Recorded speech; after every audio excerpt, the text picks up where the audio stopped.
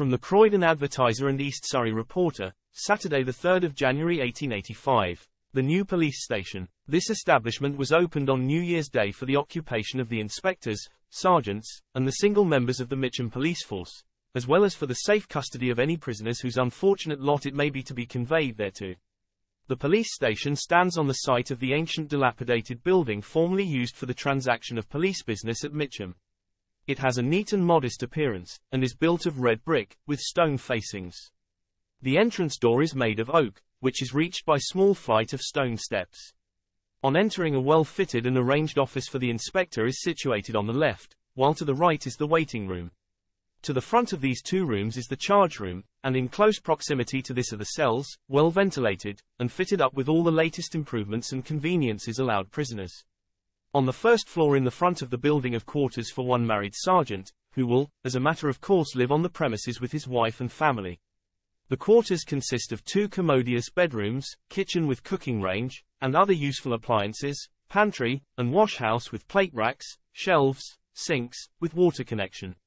Every regard to comfort and health seems to have been paid in construction of these rooms.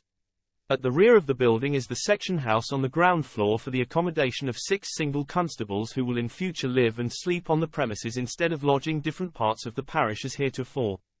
The section house comprises a day room with library, clothes room, boot cleaning room with a small locker for each man's brushes.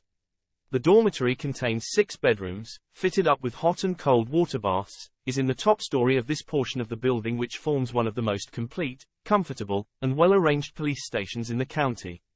The builders were Lathy brothers of Battersea, and the work was completed in March of last year. From the Mitcham News and Mercury, the 24th of June 1966, page 1. Mayor opens new police station.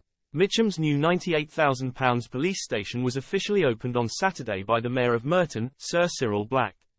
And over 3,000 members of the public toured the station and visited a special exhibition in the car park throughout the day.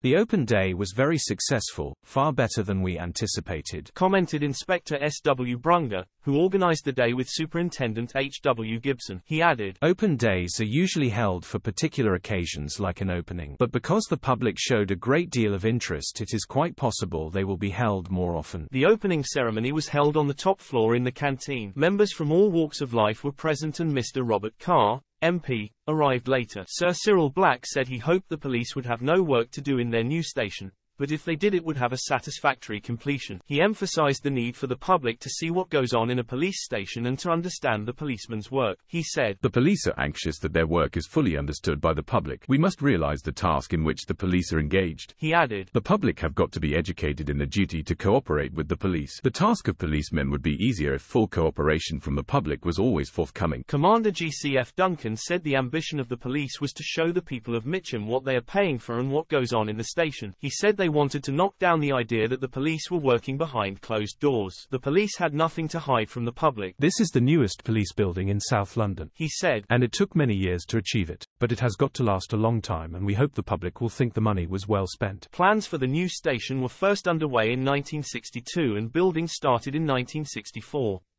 It stands on the site of the old station which was built in 1884. Before the public started to arrive the guests were taken on a tour of the station. They saw the various offices, detention rooms and the cells. Then in the car park at the rear they saw an exhibition that included a mobile police unit, police dogs and horses, police sports car and a car that was involved in a fatal accident. The most important exhibition was a special van and equipment used when accidents have occurred and to warn other motorists of the accident and dangers ahead. Then from lunchtime to well into the evening the public was shown round. One little girl was so pleased with her visit that she presented the sergeant on duty at the front reception desk with a flower.